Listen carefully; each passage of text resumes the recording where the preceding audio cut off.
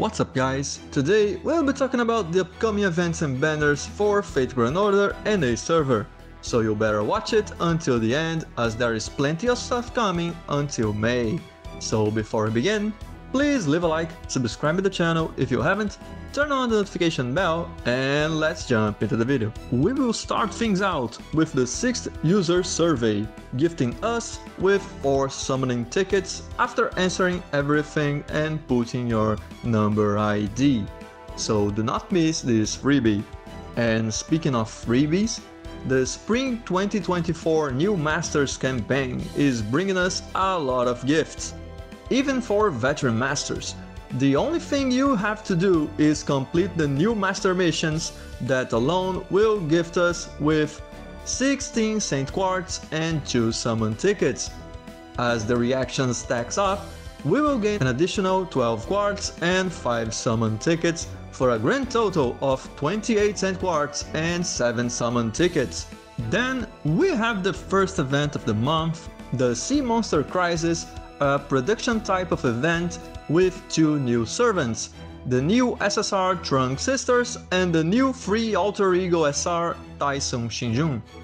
This will soon be available in our server and I will soon upload a full guide as I have been doing for every event, especially since production events tends to confuse the player's farm. But the cherry on top of this event is the return of Queen Morgan. Even in the Japanese server, she's still a staple DPS and should not be skipped, unless you have a great reason, like focusing on specific servants of your choice for personal reasons. But I strongly recommend you rolling for her, rolling with her, rolling her, it's up to you.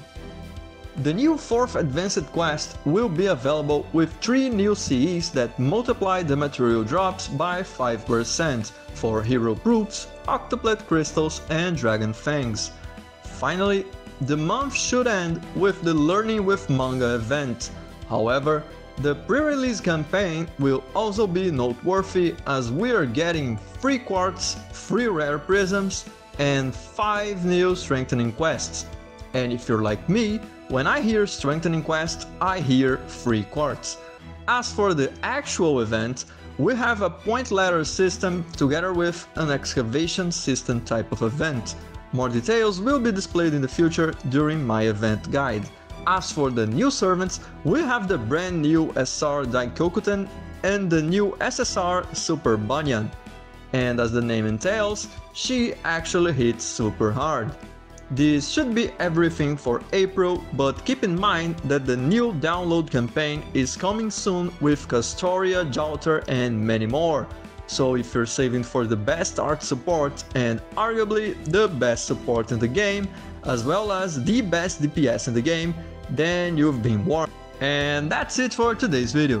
Feel free to comment down below if you're rolling for any of those servants, saving for a future one, or is in Quartz Hell like me. So if you found this helpful, please leave a like, subscribe to the channel if you haven't, comment down below and catch you later.